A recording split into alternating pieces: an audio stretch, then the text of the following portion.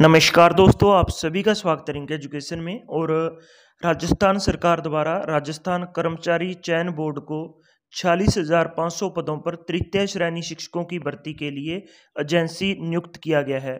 और इस वीडियो में हम जानेंगे कि कब तक ये भर्ती होगी, कब तक ये भर्ती कंप्लीट होगी।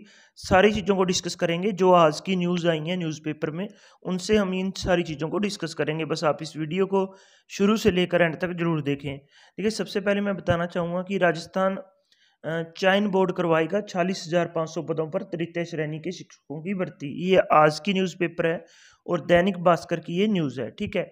और और सबसे पहले मैं बताना चाहूँगा कि इसमें ये लिखा गया कि छियालीस हज़ार पाँच सौ पदों पर शिक्षक भर्ती करवाएगा राजस्थान कर्मचारी चयन बोर्ड। ये राजस्थान कर्मचारी चयन बोर्ड की सबसे बड़ी भर्ती होगी।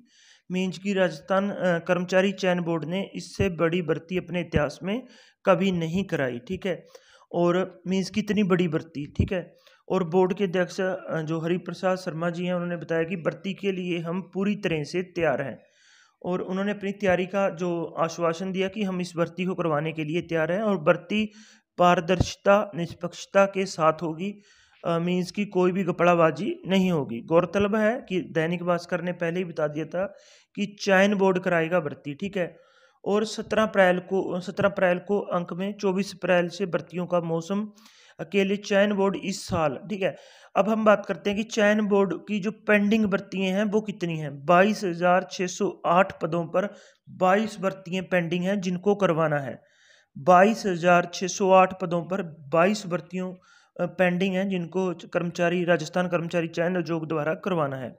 और शिक्षकों की छियाली ये बाईस भर्ती हैं और जो शिक्षकों की भर्ती होगी छियालीस हज़ार पाँच सौ पदों पर, वो तेईसवीं भर्ती होगी इस साल की, ठीक है?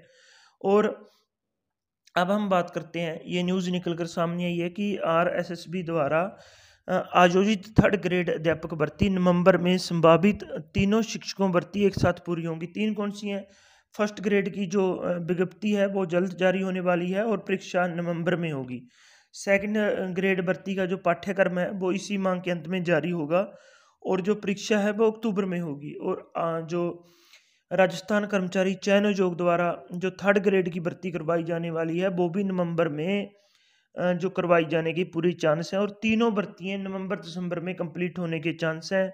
और आज की वीडियो में बस इतना ही। अगर आपका अभी भी कोई डाउट है तो कमेंट सेक्शन में कमेंट ज़रूर करें। आज की वीडियो में बस इतना ही। धन्यवाद दोस्तों।